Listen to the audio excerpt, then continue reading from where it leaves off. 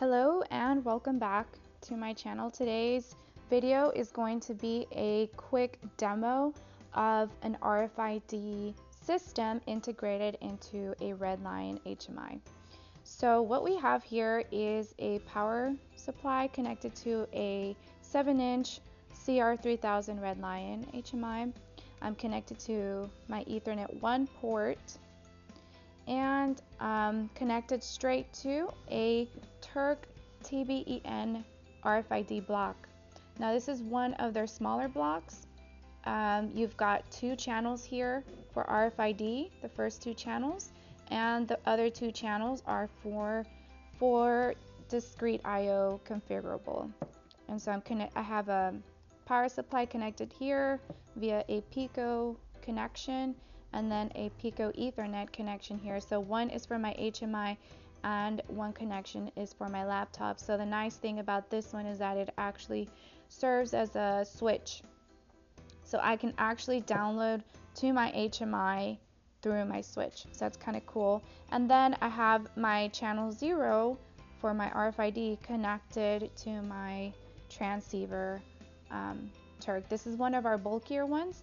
Um, it's also very common. It's got a rotatable here um, connection, so it's kind of nice. Uh, I also like the visual indication that we have a tag present, right? So I also show this on my HMI program. So if I don't have a connection, a little light turns on. So that's pretty cool. These are also uh, some of our tags that we make. We obviously make some smaller ones, but because this is kind of bigger and the transceiver is a little bit bigger, you actually get quite quite some distance here. That looks like about five, four inches. So that's kind of cool. Um, we make some smaller ones as well. So I'll go ahead and show you now uh, how exactly this works. Um, so whenever you do an RFID command, you have to tell it the length of bytes that you want to read or write. So in this case, I normally just leave it to 8. That's usually more than enough. Um, um, and so you'll notice here that I'm actually reading something. So that would be my unique code. The I, I believe it's uh, either the EPC or internal. It's the default code that's already written to every single tag. Um, and so that's going to be the default read whenever the tag is present, which um, which it is. So, for example, if I if I actually wanted to read what was in that what was written into that tag, I can do a read here, and you'll notice I'm reading um, a decimal value of five. Uh, so now if I want to write something different to it, I actually have to do an idle command in between that so you'll notice I went back to idle. Um, and if I want to change this, maybe I want to do like 9. And I'll go ahead and send that with a write command. Um, you'll notice this goes to 0 and I'm on a write. My response code is telling me that it's under writing. So I got to go back to idle. Notice it goes back to the default. Then I actually have to read. So um, it did take the nine. Um, so that's kind of how it works. This is uh, a very simplified, very simple demo, um, but it, it's a good starting point for you to write your code. This function here, having to go back to idle, uh, is something that most people would just build, uh, will automate in their program, in their PLC program. So whenever the response code uh, goes to 2, for example, which is the command code for read, you would set um, some sort of code in your PLC to reset it back to idle. So that's how uh, you would get around that. So I mentioned earlier that I'm connected through an Ethernet cable to my laptop on that switch.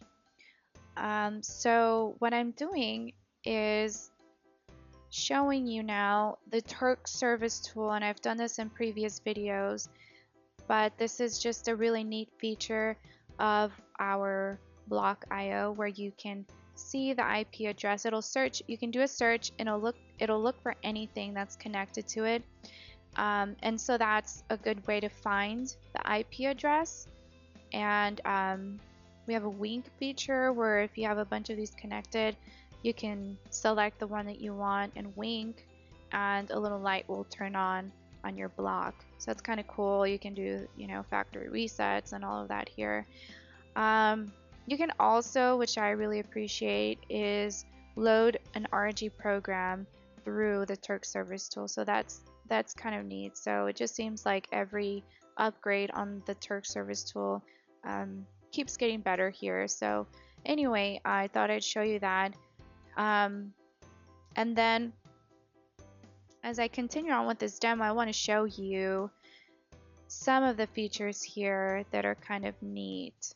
So because I have um, an IP address on there, I actually get a built-in web server with my block IO, which means I get access to parameters, information, um, I get a memory map of how to map um, over you know, either either Ethernet IP or Modbus TCP registers um, that useful to building your project.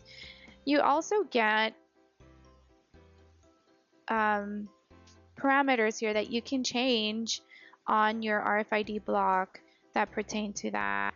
Um, so this is um, this is very neat that I can just do this through the web server. I don't have to connect to Pactware or any other software. Something really neat here is I can do different operation modes on that one block.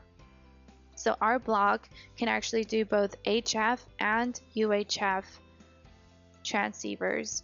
So that's really neat. I also have a feature called bus mode, so I can actually daisy chain a bunch of my HF transceivers together and that's that can be um, for specific static applications can be very useful so um, that's that's really neat I can also do read commands and write commands through my web server so I'm, I'm actually connected to a Modbus master right now being my HMI so I I can't do it through here right now but um, you see how my read data will come into my byte zero. That's what we wrote earlier in the program.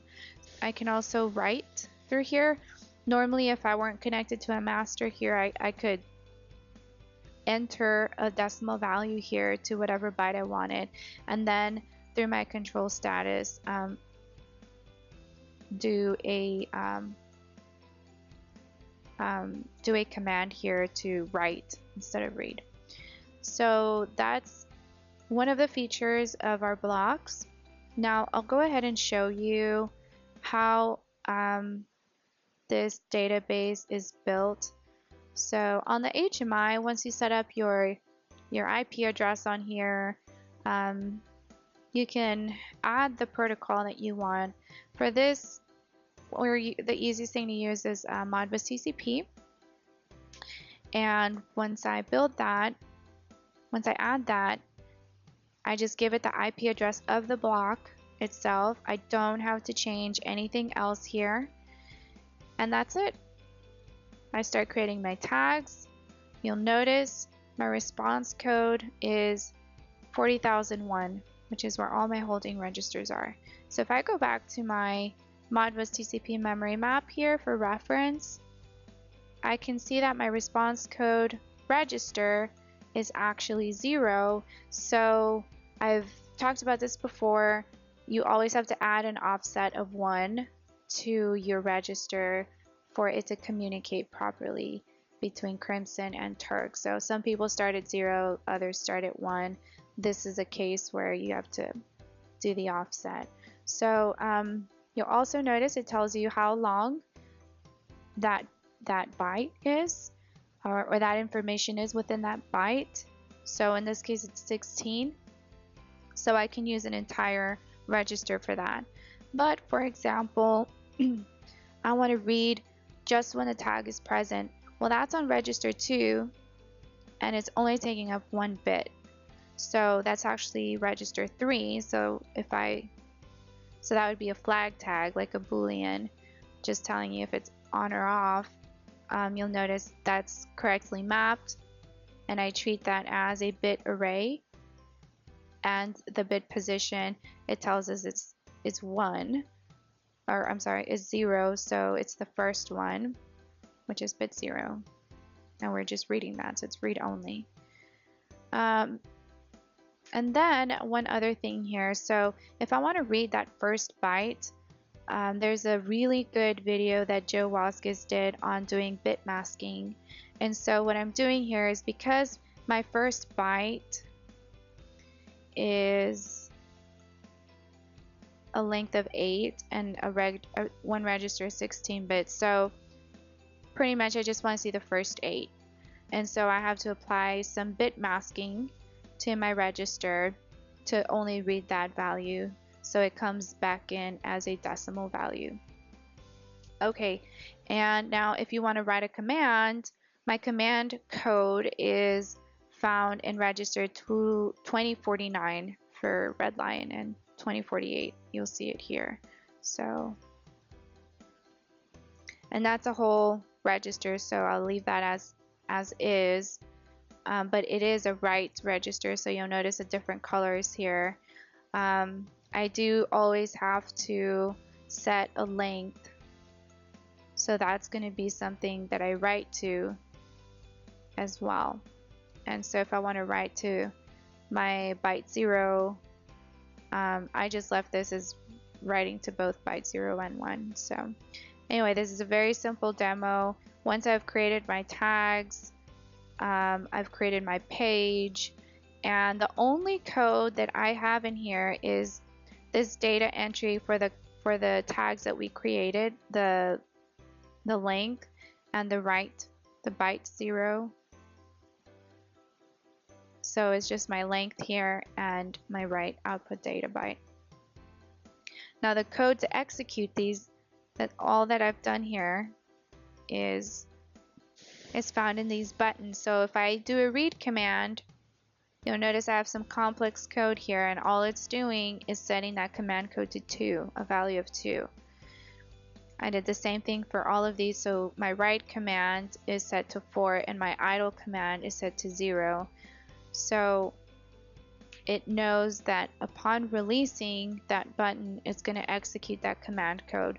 So you have to type in here the length and the output data that you want before executing the command. Otherwise, it's, it's not going to give you anything back. Anyway, so this is pretty much it. That's all I have to show you for this demo. It's very simple but it does show you how to set the communication up for RFID. If you have any questions, leave a comment. Hope you enjoyed this video and hope you have an awesome day. Thanks for watching.